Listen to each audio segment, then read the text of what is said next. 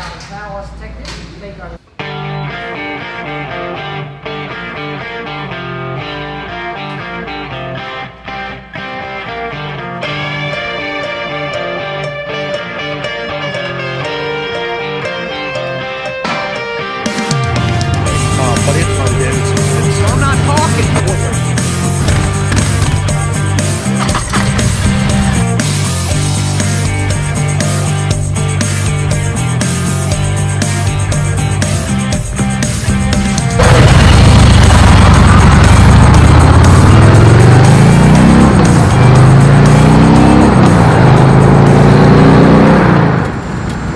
Harley Davidson of Baltimore.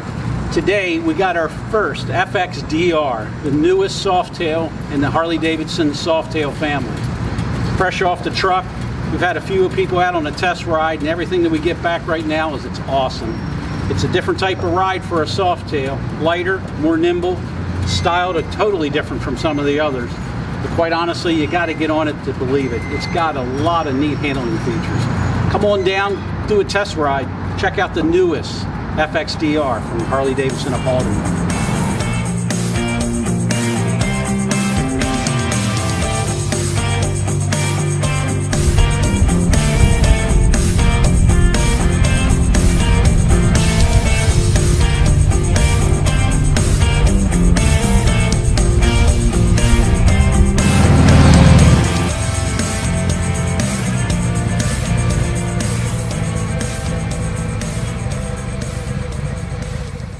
This got to be one of the neatest softail designs I've seen in a while. This FXDR being the brand new Harley off the production line with a 114 motor.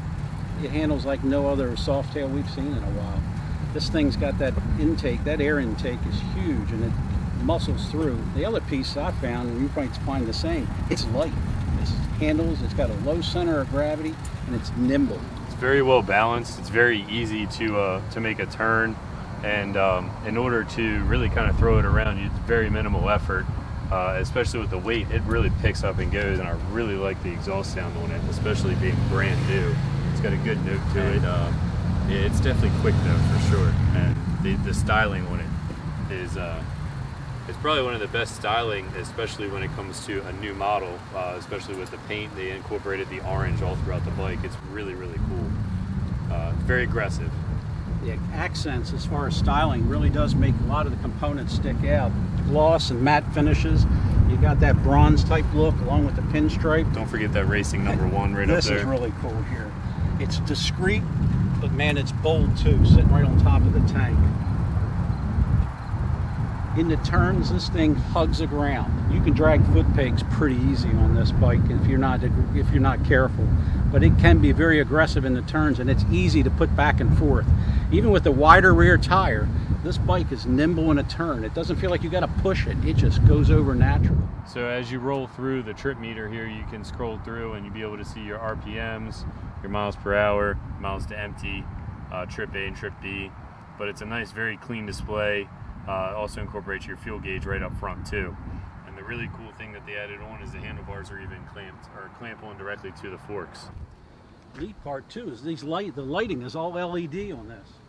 The turn signals, the headlamp, and very minimalistic. Even on the back, when you get back to the fender, back fender is going to have LED lamps back there as well. The back passenger pillion will pop off, and P&A offers a seat that'll snap right in there. As soon as you add that, you should put on some foot pegs for the passenger. It also offers a small storage space back here too, uh, to allow for, as you're going down the road, a wallet or phone or things like that. And very quickly, no tools required, snaps right back on, no no grommet, and you're ready to ride again.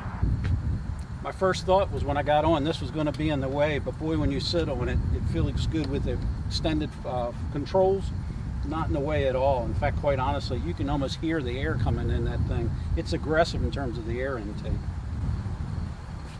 Down the location of it, it really got it up out of the way as opposed to some of the heavy breathers that bump right into your knee. Uh, the nice thing is it kind of brought it up and out, made gave it a much sportier look. And uh, like I said, I keep saying aggressive. It's very aggressively styled, and it rides as aggressive as it looks.